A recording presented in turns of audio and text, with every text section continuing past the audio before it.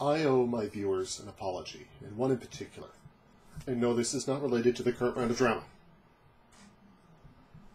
Okay, what may or may not come through in my videos is that I can sometimes have a bit of a short fuse. Someone says the wrong thing at the wrong time, I misinterpret it, and I kind of go ballistic. This might be more obvious if you've read any of the comments that I've posted. So, by way of explanation, uh, I try not to block people.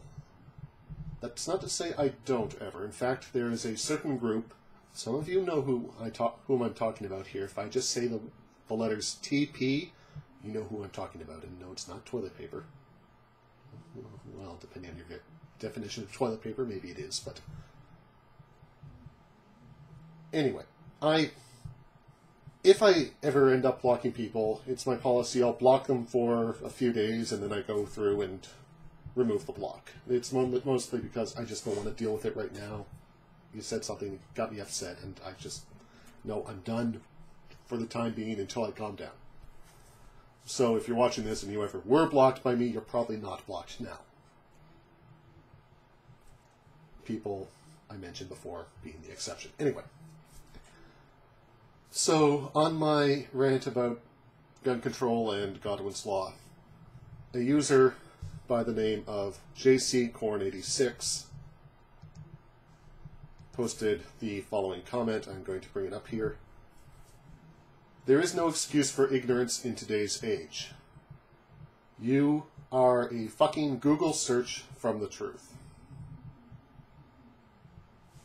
When I initially read that, I had had a very well, not a bad day, but I was cranky.